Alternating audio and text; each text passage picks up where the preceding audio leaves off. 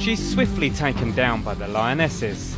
Within a few minutes, the female buffalo stops moving as the lions suffocate her and tear into her thick hide.